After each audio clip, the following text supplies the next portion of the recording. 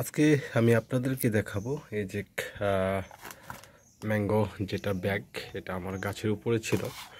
এটা এটা আমি দিছিলাম। এ দেখেন কালার কি সুন্দর আসে। মানে মানে প্রতিটাতেই দিছি প্রতিটাতেই এরকম কালার আর এটা হচ্ছে সেফটি ব্যাগ ছাড়া এটার কালার দেখেন।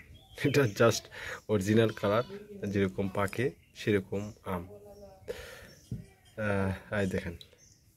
তবে আমে আপনার দাগ যদি থাকে, সেটা হচ্ছে আপনার ফরমালিন এবং কি কীটনাশক মুক্ত আর আম যদি আপনার ফ্রেশ থাকে মানে সব কিছুতে ফ্রেশ ঝকঝকে ফ্রেশ কোনো দাগ নাই, তাহলে সেই আমগুলোতে আপনার যথেষ্ট পরিমাণে কীটনাশক এবং রাসায়নিক মানে কীটনাশকের উপস্থিত আছে, বিভিন্ন ধরনের কেমিক্যালের উপস্থিত আছে, এটা আমি আজকে ভাঙালাম। এই যে মনে করেন যে এটাও কিন্তু ব্যাগের ভিতরে ছিল, এর কালারটা দেখেন।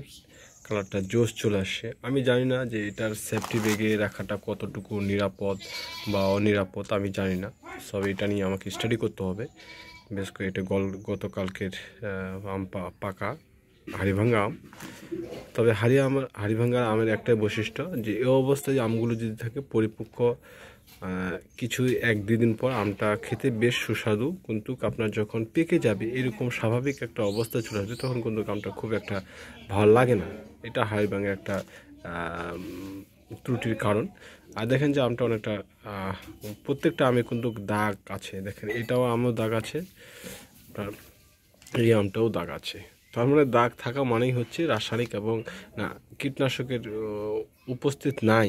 কীটনাশক যেহেতু আমরা দিই না বাড়িকার আমগুলোতে এই জন্যই বোঝার চেষ্টা করতেছি। যে দেখেন যে ওই বেগে দেওয়ার ফলে কিন্তু কে ধরনের কালার, লাল কালার আসছে, আর এটা হচ্ছে আপনার স্বাভাবিক কালার। তো ধন্যবাদ আপনাদের সবাইকে। ভালো থাকবেন, সুস্থ থাকবেন, নিরাপদ পণ্য খাওয়ার অবশ্যই চিনবেন খাবেন।